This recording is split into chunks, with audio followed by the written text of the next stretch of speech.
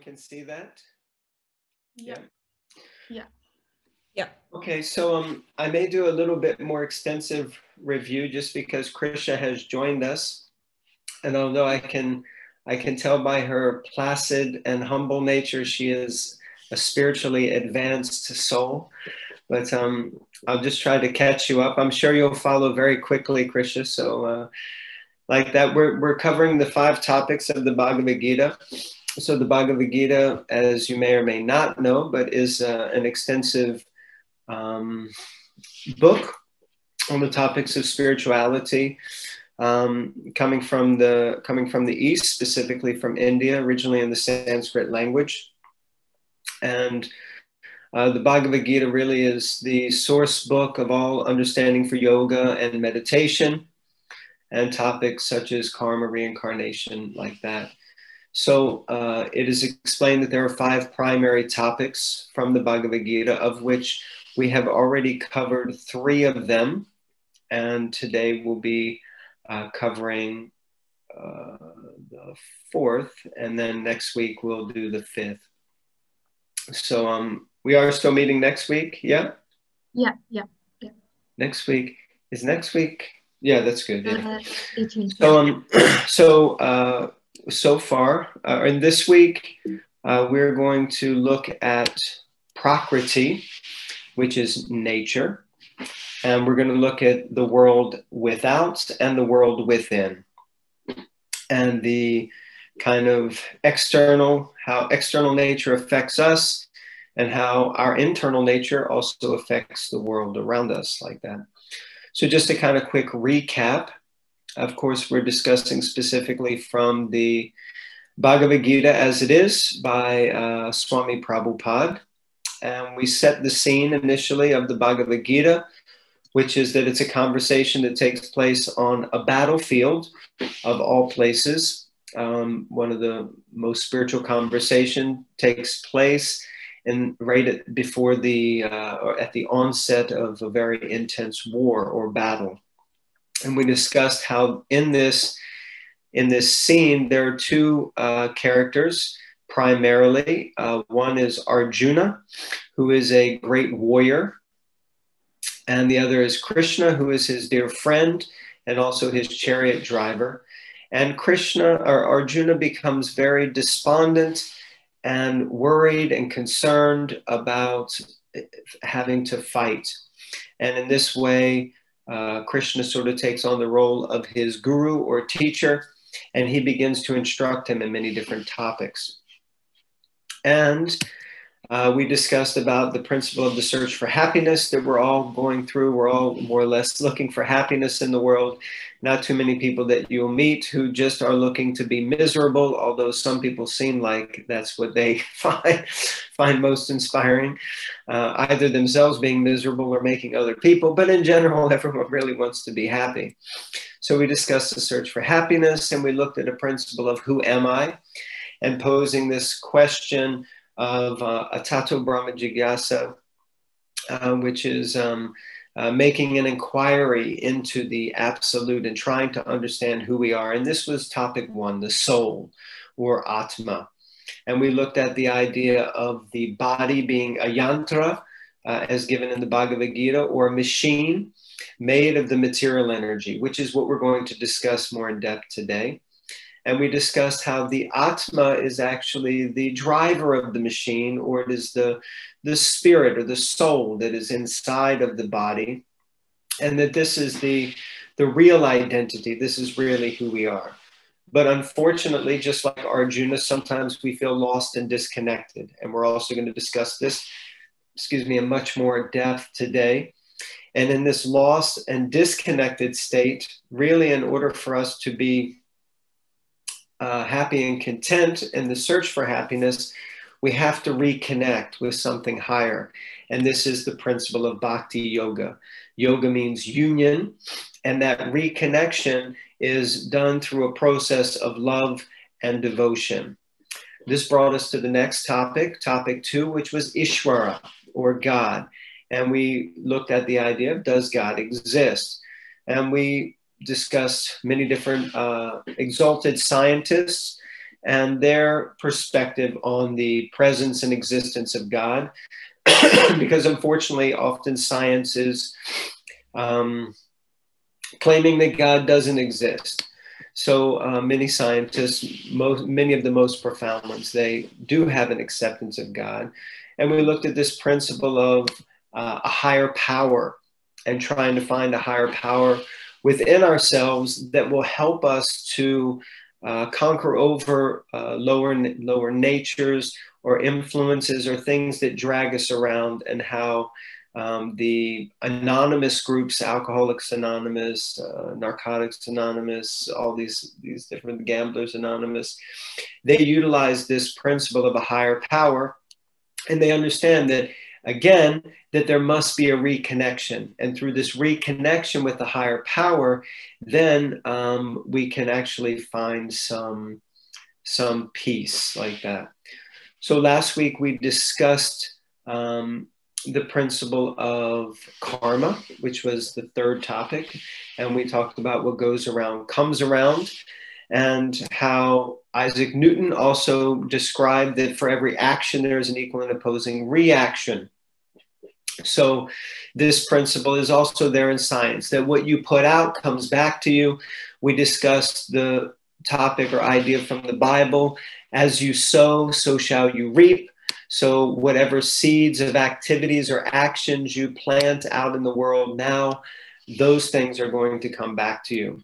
We looked at the idea uh, from the Bhagavad Gita that there are three different types of karma. I'm not sure if everyone remembers, but we discussed about karma, good karma, vikarma, bad karma, and akarma, which is means no karma. And the idea of karma or action means that there's a reaction.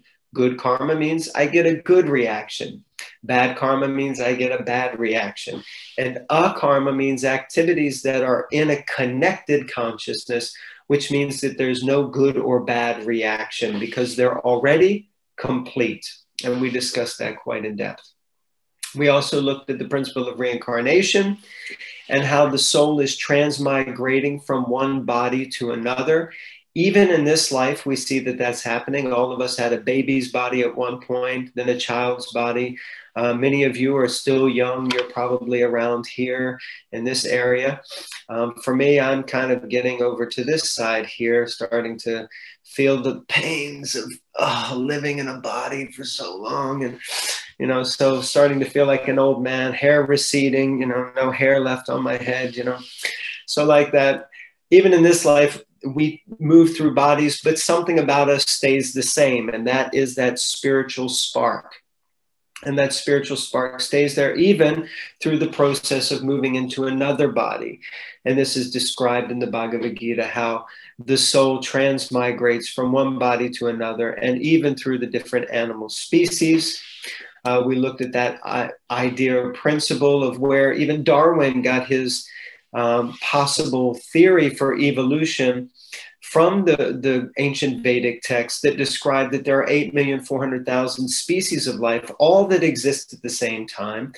But the actual evolution is not one of physicality, but it's one of consciousness that is connected to the soul.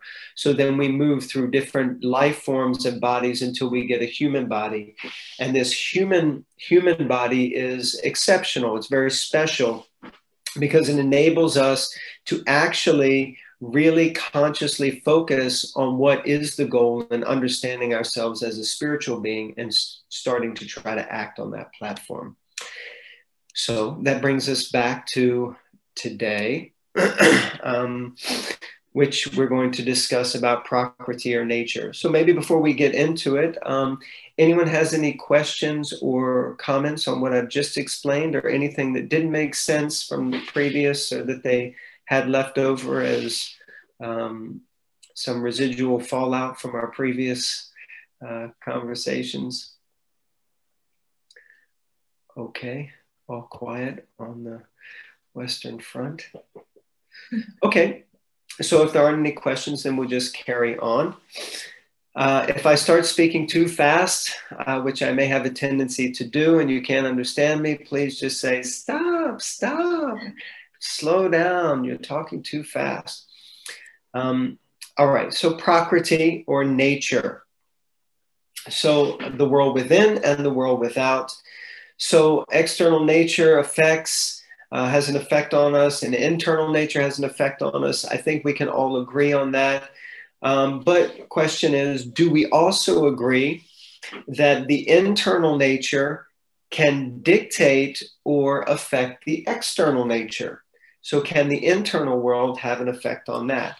So just like for you to take a moment and we'll start with a reflection. Uh, yeah, Krisha, I think probably isn't familiar, but we were doing some journal work with this kind of discussion where we were asking uh, the attendees to do have little reflection moments and write stuff down in their own personal journal or keep, you know, somewhere to write down. So I'd like to do a little reflection. So as I mentioned, we can all agree that the external world affects our internal world. Yes, can we all agree on that? Yeah. So if it's raining outside, then you might feel a certain way or have to act a certain way or dress a certain way. It's cold now, you know, it gets dark early. That has an effect on us. When the sun is shining and it's nice and warm, it also has an effect on us. So the external has an effect on our internal. But does the internal have an effect on the external? What do you think? That's a question for you to reflect on. Do you think that the internal can affect the out the outside or the external? You know, how how does the yeah, so like that. How does your internal world affect the outside world? Maybe things like uh, bad moods, you know, if you're having in a bad mood, could that cause arguments or upset with others? Or if you're in a good mood, does it create positivity or, you know, energy gives enthusiasm for changes and fatigue causes depression and things like this. yeah, so just make a little note of sometimes if you think it's correct, and if so, how how is it? How has you seen that your internal uh, world can affect the outside world or external world?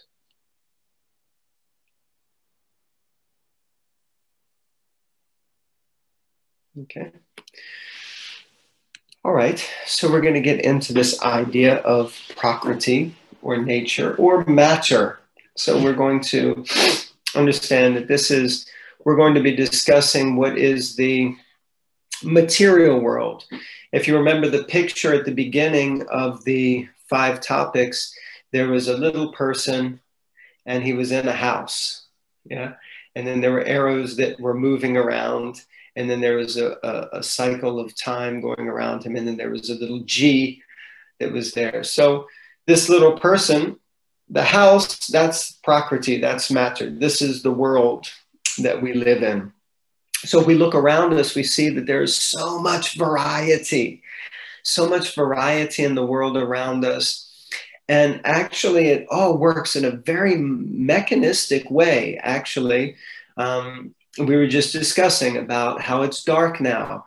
So this time of year, that's normal. You know, the sun rises at eight and the sun sets at four. That's that's just normal for at least where we live and our positioning in accordance with the sun. And in six months' time, things will be completely different. But this, these things seem to happen year in and year out. So these things go on like this uh, rain and sun and uh, the weather and so many things, although they may vary slightly, but there's still a, a mechanical nature to these things. Uh, and it's quite an elaborate system that's set up and functions that if we look at it and we see science and scientists, they spend so much time digging into this matter to try to understand the world around us. And so the, the, this elaborate system is made up of elements, and these elements uh, seem to have an effect on this on us. So we're going to discuss both the material nature and also human nature. So in the Bhagavad Gita, uh, there's a verse in the seventh chapter, text number four, uh, that, it, that it describes the gross material elements. And when we say gross, I don't mean like, ooh, gross. I mean gross, like very tangible or like very more physical, because we're going to discuss gross, and another word is called subtle, which means very much more difficult to lay your hands on it or, or experience it with the eyes or the tangible senses. So the Gita describes Bhumir upon alovayor kamano buddhihir It describes that there is earth, water, fire, air, and ether. And how these elements make up the world around us, and they also make up the physical body. So, of course, we see earth or land or soil or things around us. But do we understand how earth makes up the body? Is the body made up of earth? Who's the doctors here? We've got some doctors. Is there earth in the body? No. No? Are you a doctor? Um, yes? No, well, pharmacist. Oh, you're pharmacist. a pharmacist. okay. So, um, I, as a pharmacist, you should definitely know. What is it often when there's a depletion in the body and people aren't healthy? What does the, the doctor or the pharmacist tell people to take? when you mean by the uh, earth in the body, can it also be how um, the earth provides food and food goes into us? Oh, yeah. We, um, yeah, that can be there for sure. But is the actual physicality of the body, is it made up of, of earth, earthly products? Oh, yeah.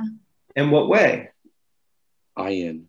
Flesh and Iron, bone. very good. Yes, yeah, okay. iron is in the body for sure. Mm-hmm.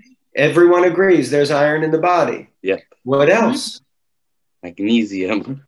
Magnesium is there in the body. Yes, that's what? that's an earthly product. Yes. What else? What? Oh, no. Calcium. Calcium. The bones are made up of calcium. Yes. So these types of things, niacin or is also there. What others? You know, and what I was trying to say about the pharmacists is they often refer you to take vitamins. Yeah. But what are vitamins? Vitamins are mostly made up of earthly elements. Oh yeah, plants. Yeah, yeah. yes, like plants. that. So yeah. so basically these elements make up the body. So first you have earth. How about water? Is there water in the body? Yes. How much? 70%. 70%. Yeah, I always hear different things. Some say 70, some say 75, some say 80 but it means that the body is predominantly water, at least 70%, which is very hard to believe. If I look at my body, I don't think that there's really water there, but there's so much moisture in the body. The body is 70% liquid. So water makes up the body. So you've got earth, water, and fire. So is there fire in the body? Like the warmth, uh, the heat? Yeah every every body has a temperature a body temperature mm-hmm. right? And what is the mm-hmm. what is that temperature normal in celsius? 30 37 usually. 36 yeah, 37 is like a standard body temperature. So that means that there is something that's generating heat within the body and where there's heat there's fire but my understanding please correct me if i'm wrong you are all the intelligent class of people and i am simply a uh, uh, barely graduated high mm-hmm. school. So, um, but there's something called mitochondria in the body. Is that correct? And what does mitochondria do? Produce energy. It produces energy, produces heat. Specifically, as far as I've understood, the mitochondria is what, what heats up when there is an infection in the body and it creates fever. And the point of fever within the body usually is to kill or burn up whatever is like kind of bacteria or disease is invading the body. So the, the fever is usually a defense mechanism of the body to help the body be healthy. It's not we often we often think, oh, I've got fever, I'm sick, and it's that's the bad thing, but it's not. It's actually a good thing. And the mitochondria is creating this heat. So there's fire within the body, and the temperature can go up and can go down. There's also another place where there's like fire in the body. Where's that? The stomach?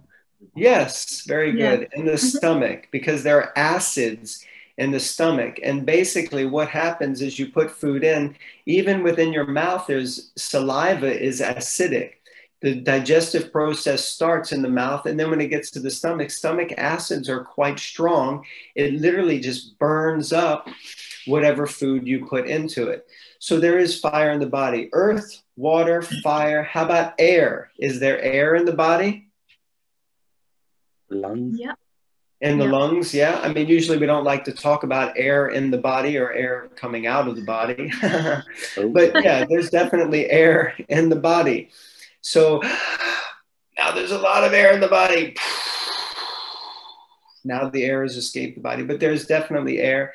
And if we don't put air in the body, there's also air flowing through our veins, right? The blood is oxygenated. So the oxygen goes into the body and we dispel or exhale um, carbon dioxide. So there's air in the body. And what about ether? What do we think ether? Maybe we don't know what ether is. Ether is That's different like from air because ether is what? Is that some like sound sort of vibration or no? No, not exactly. In one sense, yes, but not exactly. Ether is simply space. Mm. Ether is the existence of space. So within a vacuum, you can have space without any air, correct? So, like Yeah. if you were to go into a vault, sometimes in vaults, they take the air out and it's created just there's a space there, but there's not really the existence of so much air. Or if you go into outer space, supposedly there's not really air that we can breathe. There's an absence of, of air, meaning the like hydrogen or, or sorry, oxygen or carbon dioxide or these types of things. So is there ether in the body? Is there space within the body? Yes, of course. And in fact, it's described even within every atom of matter, there's more space within an atom than there is actual physical structure. So, again, something that's very difficult to see. Now, if you look at these elements, you'll see that Earth is something very tangible. You know, you can take mud and rocks and stones and trees and things like that. It's very tangible. Uh, water uh, is also tangible, but it's becoming a little bit fluid. It's like more liquid. It's hard to hold on to. Earth, water, fire. Fire is almost like air. It's not something you can really grab onto, but it's something you can still experience as an element but it's not really something it's like air if you've ever sat and watched a flame or fire it's like it's not really yeah it's not really a solid thing and then air of course is almost invisible we can hardly see it but we know it exists because we're breathing for one or you can see the air blowing in the trees so it's a very subtle it's a more subtle of the gross elements and then ether is basically, it just exists and you're not even aware of it all the time. So these are the five main building blocks of the material energy, according to the Bhagavad Gita and also backed up by science. Now, what are the subtle elements? So these subtle elements are described as just like ether is impossible to see, but you understand it exists. Just like I'm in a room now and I can see that there's space, but you don't you can't grab it and put it in a jar or something like that. So these subtle elements are called the mind, the intelligence, and the false ego. And this means that there's the mind. Now you may say, what is the mind? Well, the mind is that little voice that's probably been saying, What is this guy going on about? He's talking about all these things. And why is he talking about that? And I've got better things I could do with my time. And what time is he going to finish? Because I'm hungry. And oh, I was late. Or why did I turn on my camera? Why is Vrishni's camera always on? You know, all of these things. Whatever your mind, that's your mind. Da, da, da, da, da. And many times people have lots of problems with the mind because the mind will not be quiet. It keeps talking all the time, which is why we do at the end a little mantra meditation. And mana means the mind, and tra means to free. So it means to help free ourselves from the exhaustion of that mind that is always talking. Then there's the intelligence. And it's described that the intelligence is more subtle than the mind because the intelligence is kind of like the data bank of information or knowledge that one has. You can't see it, it's not tangible. You can't pull the SD card out of my head, or there's not a chip where you can say, oh, this is how smart he is. but intelligence is visible when one speaks or when one acts, but it's there. So if you look at an object, you can only understand or interpret what that object is according to the level of intelligence that you have. People who have cultivated a certain level of intelligence with, let's say, fixing car engines or performing uh, surgery, brain surgery. You know, you could say both a, a car mechanic and a brain surgeon are both good with their hands, but you wouldn't want a mechanic to do brain surgery on you. You want someone who has a different level of intelligence, and you probably wouldn't want a brain surgeon to come and fix your car. So it's about intelligence. So that intelligence is a subtle thing that's stored. And then there's the idea of false ego. And I'll explain a little bit later why we call it false ego, but ego. It means id, it means my identity. And what is that identity? That identity is the culmination of all of these things my physical body, my mind, my intelligence, and that's who I declare myself to be. So I am a white, middle aged American man um, who lives in London, and that's how I describe myself. And we talked a lot about this in the Who Am I section.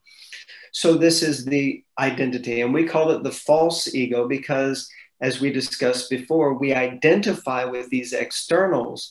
And that's a false identification because we forget that actually who we really are is that spiritual spark that's inside of this external identity. So I hope this isn't too complicated. I hope it makes a little bit of sense, but this is a big topic that's discussed in the Bhagavad Gita. Now, as we move on and look at the idea of nature, Prakriti, uh, we often refer to nature as mother, mother nature. Um, in the West, nature is referred to in a feminine uh, perspective as mother nature. And in the East, they refer to Mother Nature or Mother Earth as Bhumi Devi. So there's all, almost always a feminine acknowledgement of the of, of nature. So like that. And we may ask, well, why is that that it comes? Well, because mother gives birth, mother gives life, and she also uh, sustains life.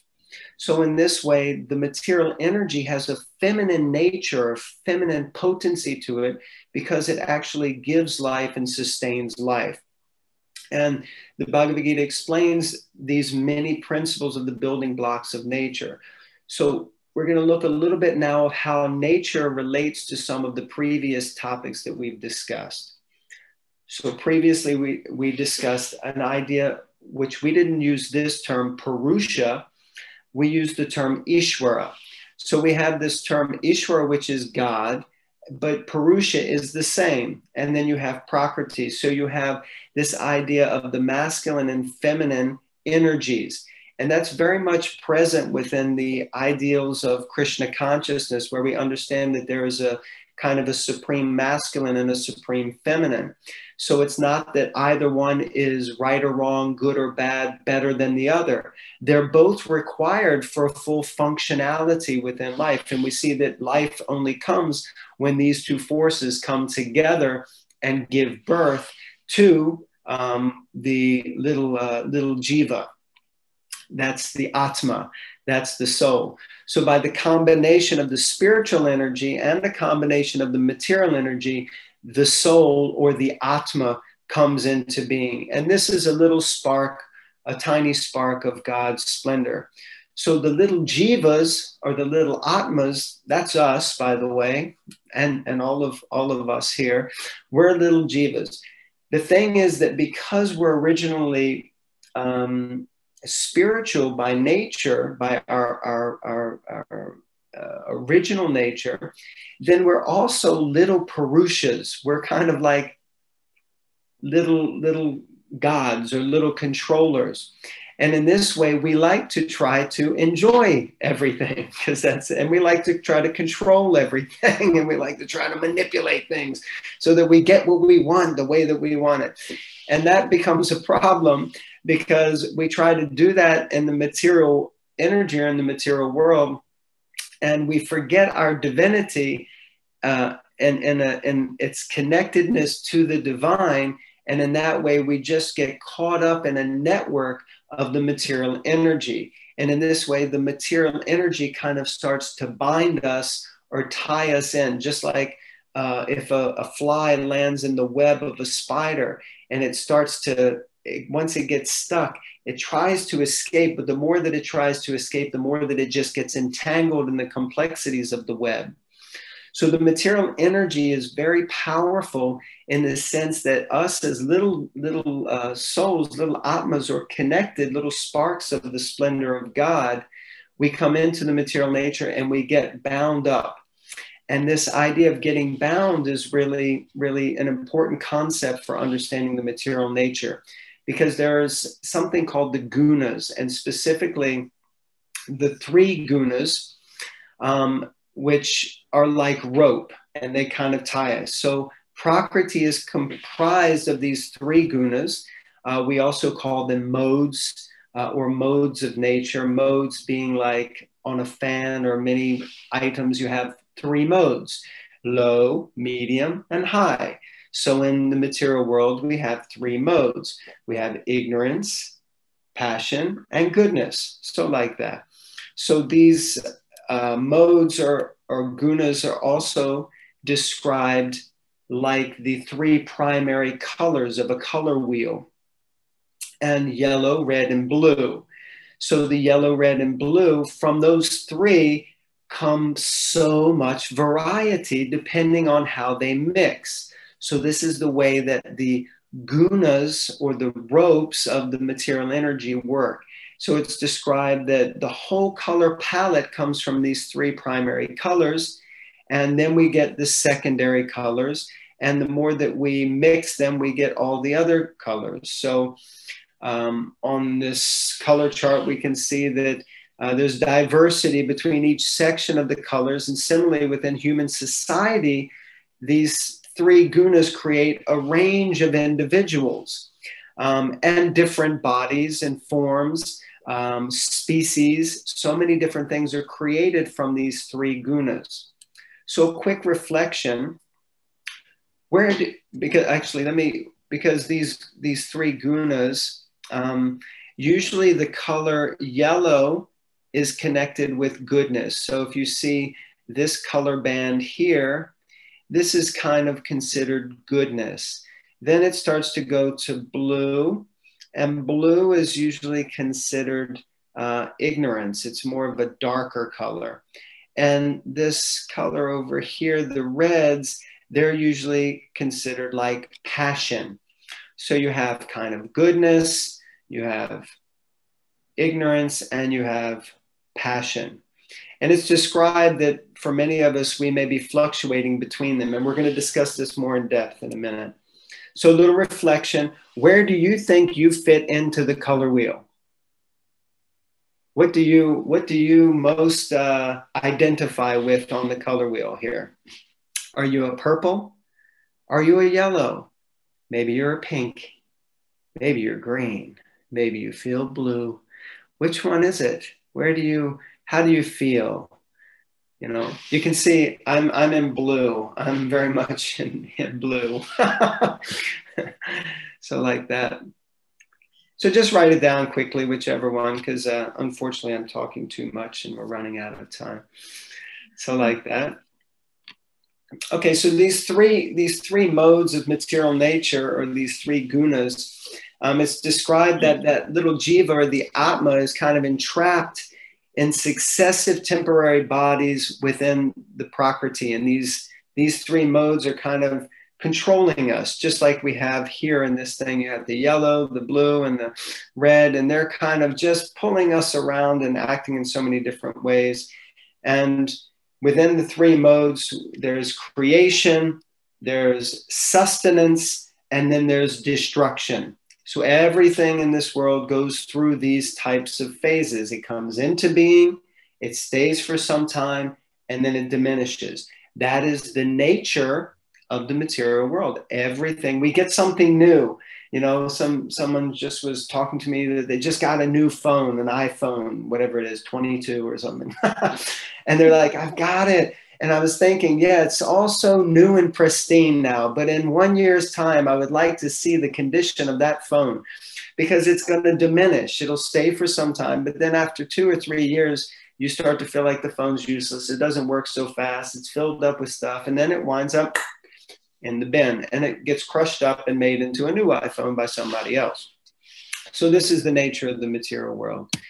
If we understand the gunas, they can be a very, very powerful tool for helping us to gain control over the mind, the body, and our emotions, and really helping us to have a transformation in our life. And that's what I really want to try to focus on today how this gunas, and we can kind of do guna management. So let's look at it again. These are three gunas there's sattva, which is goodness, rajas, which is passion, and tamas, which is ignorance. And we're going to look at some of the symptoms. So, tamas first is considered the mode of ignorance. Now, it's we mentioned earlier, it's kind of in the blue category. And so these are some of the characteristics of the mode of ignorance um, madness, laziness, sleep, foolishness, anger, violence, hatred, envy, revenge. I think you kind of get the idea. and I'm sure most all of you who seem to be such saintly, pure hearted, kind, loving souls are never influenced by this, but maybe every now and again you get angry, or maybe every now and again you just feel lazy, you know? So, like this, this is the kind of mode. So, a person in this mode is basically usually pursuing some sort of pleasure in the world, but often is very reluctant to any idea of commitment. So, that's something we'll discuss a little bit later. Rajas, passion. Woo! passion how would we describe passion yes passion means I, i'm kind of greedy for things i want things i'm i have an agitated mind and senses I, i've got lots of desires and longings i want lots of things i love this i want that and intensely driven also to fulfill those desires and oftentimes there's kind of an idea of gain and then a kind of i me and my consciousness so this is Rajas. And again, I doubt if any of you are influenced by by this mode at all, you know, the go, go, go, go, go, go, go. Um, unfortunately, coming from America, my whole life is all about go, go, go. You know, that's the nature that we're kind of brought up with. You have to succeed, you have to win, you have to be the best. That's a very passionate nature. And this is often symptomized by pursuance of pleasure and and you're committed to that getting that pleasure and that commitment is often shown by striving for material benefit for one's own self and for those directly around me. So that's kind of a passionate, passionate inclination. Then we have sattva, which is goodness. And some of the characteristics are purity. We like things that are that are more pure and, and clean, uh, happy, inner satisfaction, uh, a sense of duty or selflessness, uh, humility, cleanliness, there's compassion, a search for spiritual knowledge or higher understanding. These are symptoms of the mode of goodness or sattva guna. And it's described that what happens, the way that one comes to the platform of sattva, is that one becomes frustrated with just getting the rewards of hard work. And one actually starts looking for more refined ways, more subtle ways to become happy in this world instead of just chasing after things and getting them. One actually realizes there's a there's a, a better way to enjoy. So in brief you have sattva rajas and tamas. So here they are. So now you can look back at your reflection of which one of those colors you kind of connected with and see are you the kind of buddha guy there or are you the guy going ah are you are you uh, is that Homer Homer Simpson? so few of us in the West have ever heard of the term guna, but this concept of gunas is a really powerful tool for helping us to first understand how we're being influenced. So let's look at this. Tamas. Here's Tamas. How often does your alarm clock go off in the morning and you have to drag yourself out of bed, bleary eyed and sluggish and desperate? Oh, you know, just desperate to like, oh, what is it? Most people get up and they're like, I just need a cup of coffee. And if I have a cup of coffee, then Rajas, woohoo! Now I feel awake. Yes, so actually, we're naturally managing the modes anyway. We're doing this naturally. We're, we know that I'm sleepy and tired and inert. So now let me stick something into my body so that, whoo, I feel energy and life. And that's now we're in Rajas. We're ready to go and do whatever. Even if I don't have anything to do, I've got plenty of energy to do nothing. Woohoo! So that's it. So the moment we reach for the coffee pot, we're unconsciously trying to manage our modes. So Rajas is the mode of action, movement, and activity. Then what often happens is you get uh, like this, and then the next thing you go through the Rajas Tamas cycle. So you get fired up with 50 cups of coffee, so you can go rah, rah, rah all day at university, all day at work. And then in the evening, you're like, yeah, and you just completely crash out. So you work hard and you sleep hard. And then you live for the weekend, right? Where you can just sleep in and you don't have to get up and fight through the day. This is the Rajas Tamas cycle, okay? So all of us are probably experiencing this in one way or another. But what we're really, what we should be striving for is something a little more sattvic, something that is a little more mode of goodness, where we actually, when we wake up in the morning, we don't feel like we need to go and fill ourselves with some, um, you know, caffeine so that we can get started. But maybe there's another way that we can wake up and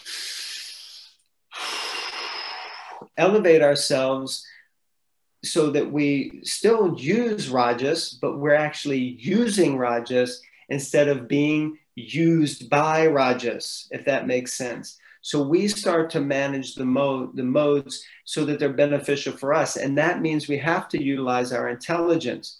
And intelligence is a symptom of goodness. It means we're conscious of the way the modes are working. We're conscious of how to manipulate the modes so that they can help us to traverse the challenges of the day and of the world and of our life but in a way that's going to be beneficial for our forward progress, hypothetically and hopefully spiritually, like that. So these are ideas of guna management that we don't want to be a victim of the gunas. So therefore, we have to take responsibility and find balance in these gunas. So just a little reflection uh, or a little um, review. So there's there's a fourth mode, which is a spiritual mode. So you have the mode of ignorance, and then you have the mode of passion, and you have the mode of goodness, and then ultimately you have transcendence. So the idea is that there are these three modes, but if we cultivate spiritual consciousness through the mode of goodness, ultimately we can transcend all of these three modes and we can achieve what is known as a spiritual mode where we no longer function or act on the material mode uh, in the material nature, but we function and act according to our inner nature, our ultimate original ego, which is the spiritual identity, and that is transcendental to all of these modes. And this is what has basically happened with Arjuna. So, Arjuna is uh, really wanting to understand his true nature. And much of the dialogue in the Bhagavad Gita is about understanding our nature. Through Arjuna, who has understood that he has a certain nature, but now he doesn't want to act according to his nature. As we, we discussed this challenging situation, and some of us also come up against this that we know we should be doing a certain thing, but somehow we're drawn and forced to act in a different way, even though we know better. Even though something inside of us is telling us that we shouldn't have that fourth cookie or eat that cho- next chocolate bar, or we shouldn't buy those shoes or that bag, or we shouldn't buy another iPhone because I'm going to max out my credit card, or we shouldn't like lay in bed for another four hours because I'm going to be late for my assignment or late for school. You know, we know that we shouldn't do certain things, but still we do it. So, what is it that's pulling us to do that? It's the gunas. And we have to learn how to interact with these gunas so that we can actually make spiritual progress and overcome them. So, some quick journal work if you get out your journal. So there are, mm, let's say, seven main areas of influence that we often would like to have breakthroughs in life. Many people discuss, and that's the area of diet. Many, many people in the world struggle with diet, eating too much, eating too little, eating the wrong things. Lifestyle, that can be, you know, how we um, how we interact uh, uh, in the world. Uh, what, what is, you know, is it too much work? Is it too much play? Is it like this? There's the idea of work. So some people they work too much. Some people they work too little. some people they don't work at all, and like that. So you know what what is our work, and is that work inspiring and enlivening to me? Our environment. Look around you right now what is your environment? What mode is your environment in? I mean, you might say it's in the mode of ignorance because it's a complete mess. Like, you know, my socks are over here and my towel from this morning is over there. And, you know, I, I got food from three days ago, growing fungus and a science experiment sitting on my desk or something, you know, or is it that it's in the mode of passion where it's a little kind of tidy, but there's stacks of papers and things that need to be done and post it notes all over everything? Or is it in goodness because it's very clean, it's nicely dusted, it's, it's very sattvic? What is the environment that you're in? Media exposure. How much media am I getting overwhelmed by day in and day out, you know? and what kind of media am I watching? What's going into my consciousness? Am I looking at things that are in tamas, rajas, or sattva How am I exposing myself? Leisure time. What do you do in your leisure time? Is your leisure time like, ah, you know, just do nothing? Or is leisure time like, go, go, go, go, go? Or is leisure time kind of more peaceful and time to relax? And, and then other people what is your association? Is your association like with people who are more influenced by the lower modes, goodness or, or ignorance, passion, or goodness?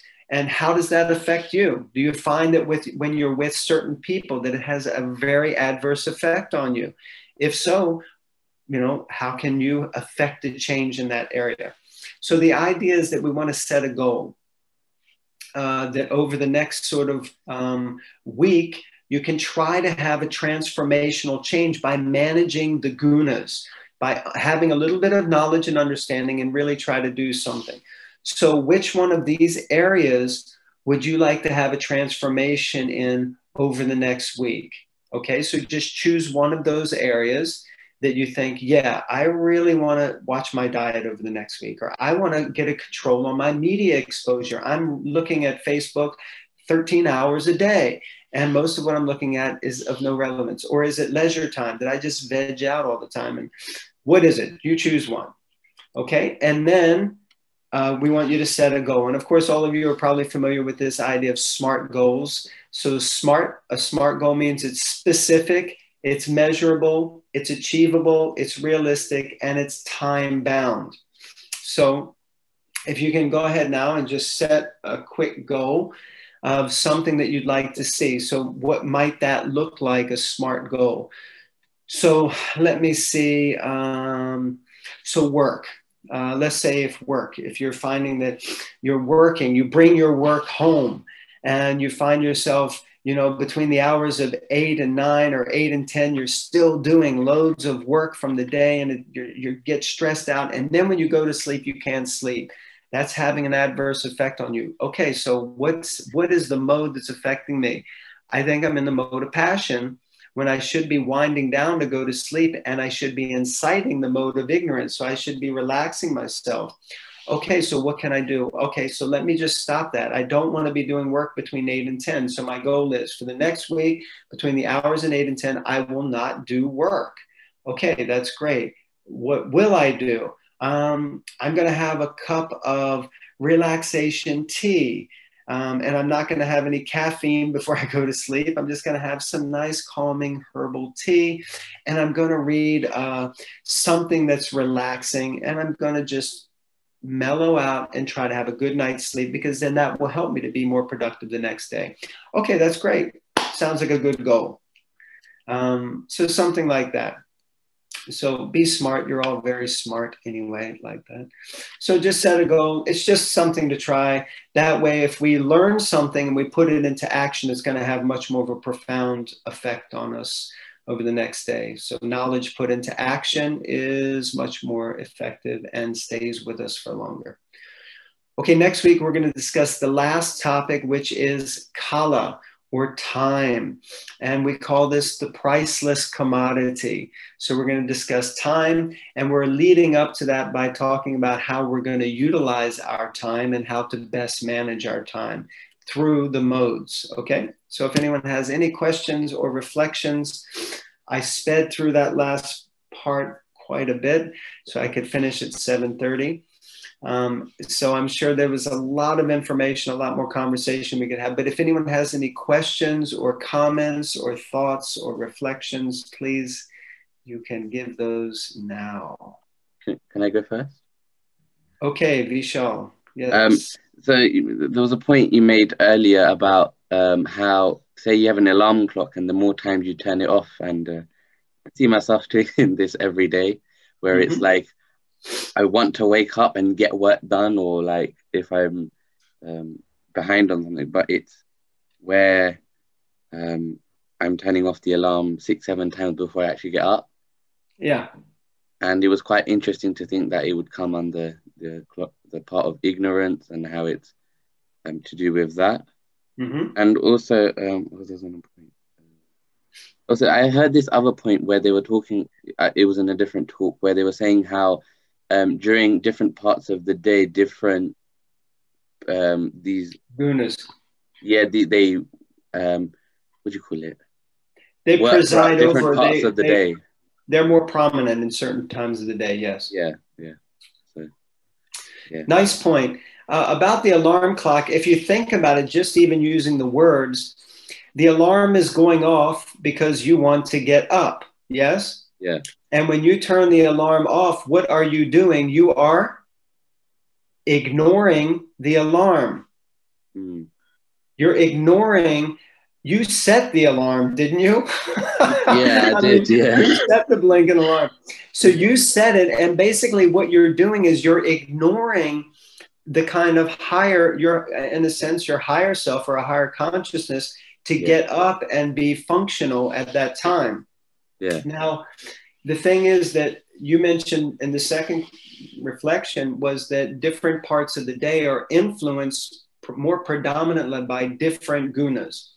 The morning hours from just before sunrise until around 9 10 on the color wheel is kind of the uh, the yellow you know the sun is coming up and it's it's very nice peaceful time being awake at like the morning hours, four, five, six, it's very conducive to the mode of goodness. But once it starts to get to 10, 11, 12, sun is at the highest point in the sky at the midday. That means the heat, the passion is flowing, and you see everyone is out. Everyone's moving, and they keep going until around the five, six o'clock um, kind of thing in the evening up until maybe around eight when the sun is finally set and diminished. And then at that time, it starts to get dark. And with darkness comes Tamas and comes ignorance. And then mostly the evening hours are influenced by those lower modes, like that, the mode of ignorance. So if you, if you, you know, often you find people trying to study students are mostly studying through the night.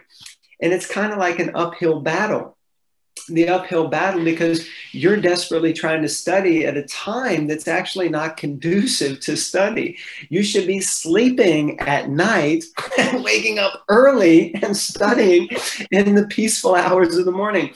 But I know so many students, they do, no, I did an all nighter. It's like, yeah, you wasted eight hours, in my opinion, because you could have studied and retained so much more if you had had a good night's sleep and you had actually gotten up early and utilized those vital morning hours where everything is very fresh. Because at the end of a day, who is fresh at the end of the day? Nobody's fresh after like being awake for 12 or 13 hours. It's, you know, most people are run down. So you run on a different kind of energy in the evening. That's why many people find the evening hours very creative um, you know, because there's a different energy there.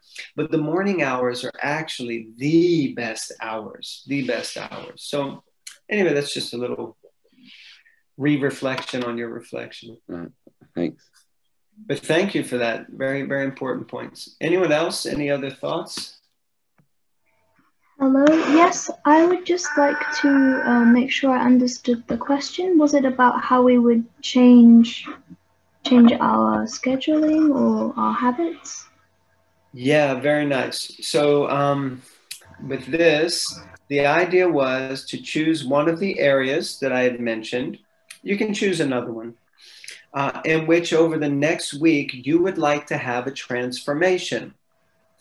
The likelihood is that all of us feel that there's an area of our life that we could improve with the knowledge of the gunas, we may have an insight into the way that the material world and the material energy is pulling us to act in a way that we'd really rather not act.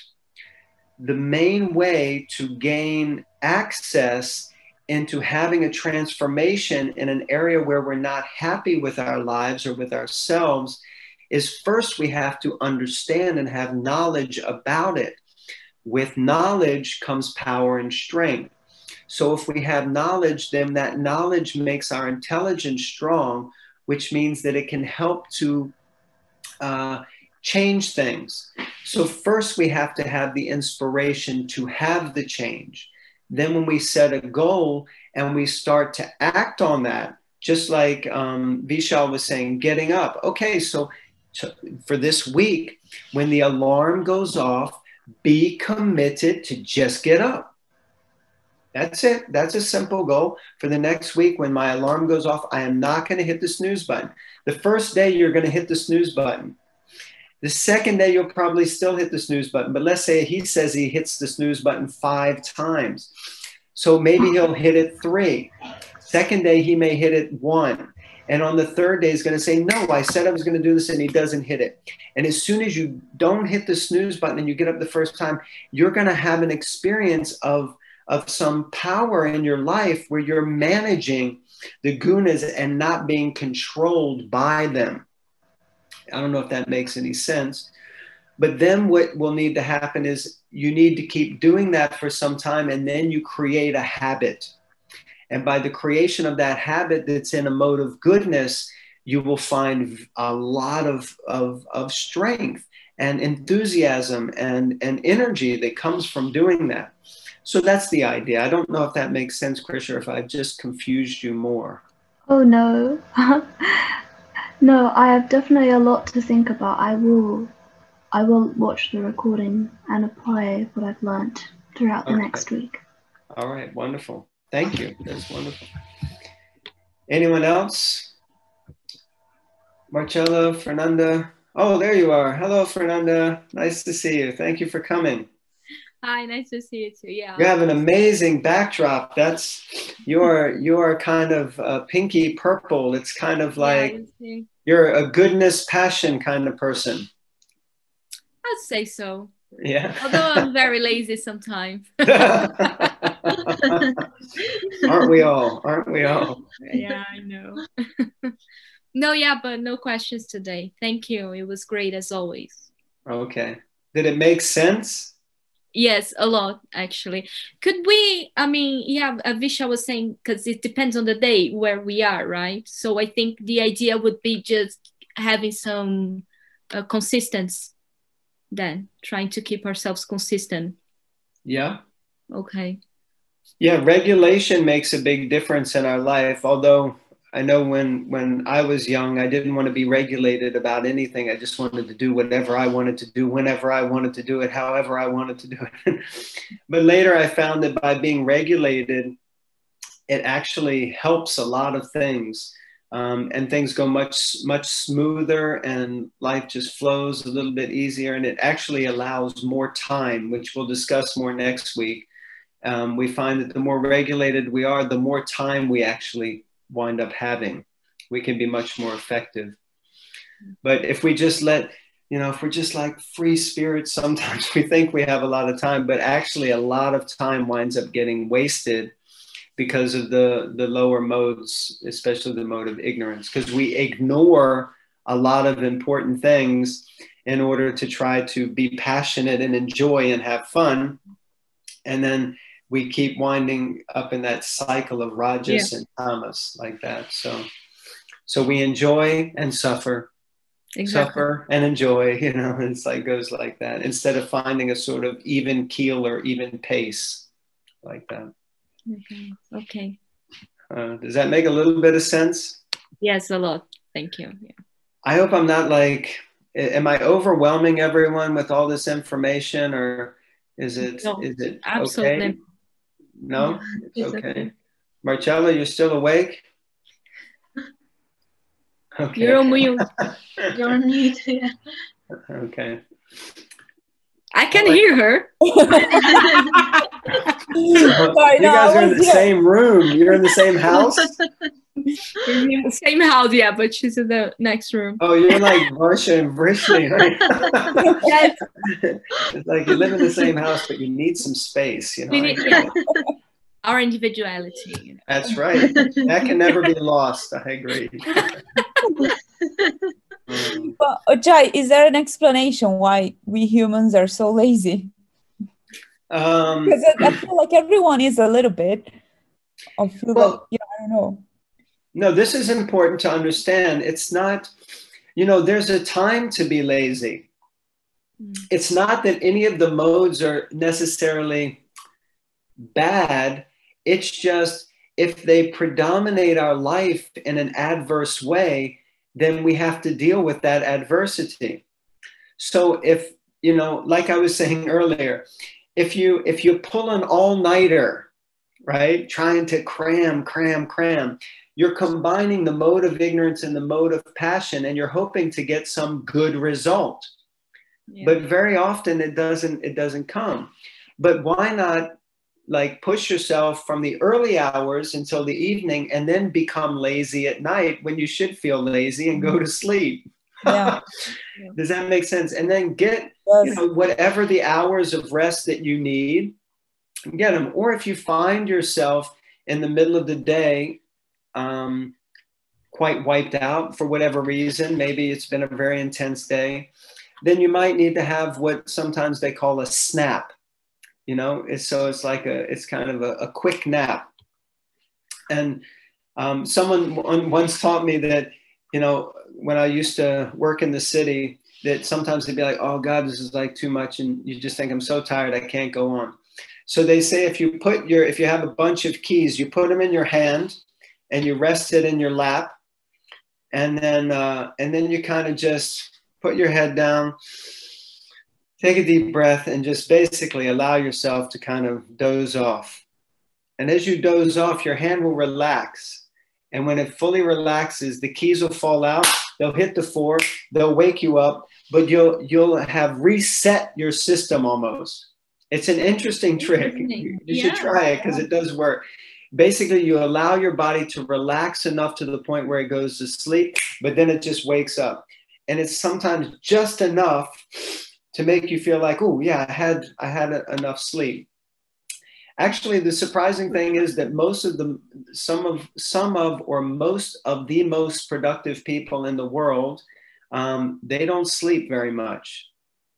They get just enough sleep to keep them going. So there's a whole talk we could give on on the cycles of sleep. and how when we sleep, our, our consciousness goes through these cycles. And most people go through two, two slight cycles in a night, which usually comes up to be around six hours. But if you wake up in the middle of a cycle, that's when you feel like uh like if you've ever fallen asleep in the daytime and someone wakes you up and you spend like the next hour like wandering around like a zombie is because you went into deep sleep and then someone pulled you out of it and you don't ever really feel like you came out of that deep sleep but if you find out what your sleep cycle pattern is you could just have one sleep cycle and you get enough deep sleep, REM sleep, and then light sleep. And you just have that, and that could be inside of three hours. And you could do that and you could actually function. And many people do function, not many, actually, most people don't function on three hours of sleep. But but some of the brightest and most constructive or creative people, they they can function on that because they've learned that cycle. But some people are like, I need eight or 10 hours of sleep. It's like, nobody needs eight or 10 hours of sleep. it's just not a reality. But once you get into the third cycle, you've almost got to go for the full three hours. So then you're pushing the eight to nine hour mark. So, anyway, there's a lot of things that could be said around that. But laziness often comes from burnout from the mode of passion. So we push, push, push, push, push, and then we feel like I deserve a break. I've worked so hard. I'm just going to sit on the sofa and eat donuts and watch TV until, you know, I fall asleep here in my, you know, pajamas or whatever. And like, I don't care, you know.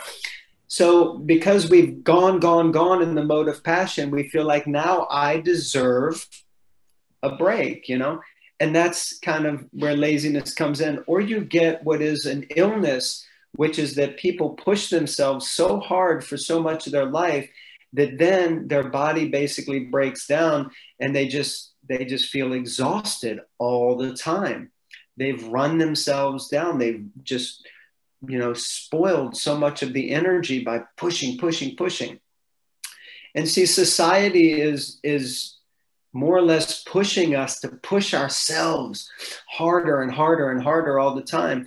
But intelligent people know that things have to be done at a pace.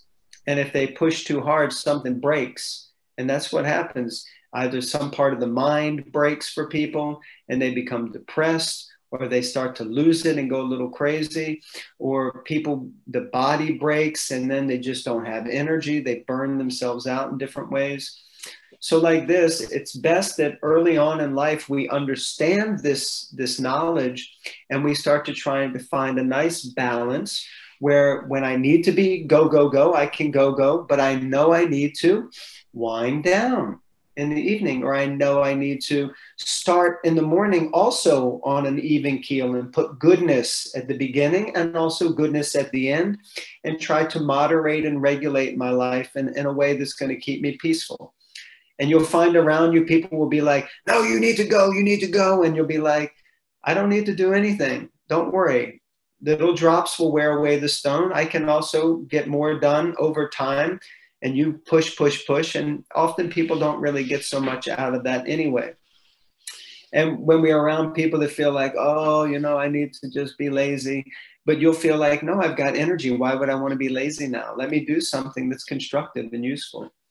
So anyway, these are just, it's a huge topic, a huge topic. But if we understand it first, that's what I was saying to Krisha, if we have some knowledge about it, then we can see it.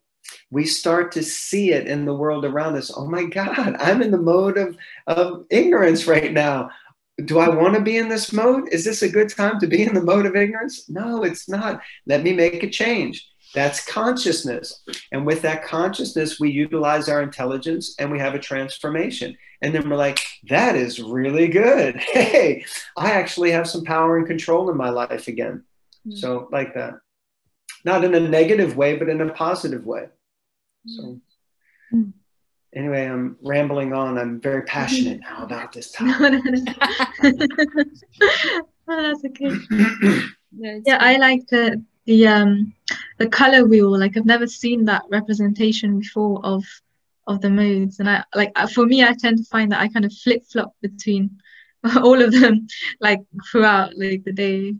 So yeah, kind of like Michelle was saying. yeah.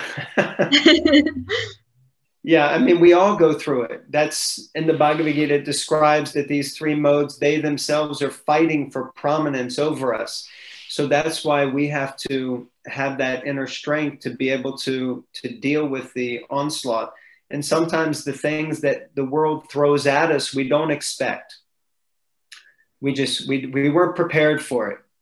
But if, if we've cultivated goodness, when adversity comes, we're not shaken so much. But if we're already on shaky ground, when something comes, it's like what they say the straw that breaks the camel's back. And then it's like, I'm already on the edge. I've been up all night. I've been, and then someone tells you that, you know, I don't know, your best friend has passed away or your someone you know has cancer or, or that you've got cancer. And then your whole life just falls apart, you know, because you're not in a conscious space where you can deal with it. But if you if you've cultivated goodness in your life and something adversity comes in, you're not so shaken because you're already stable.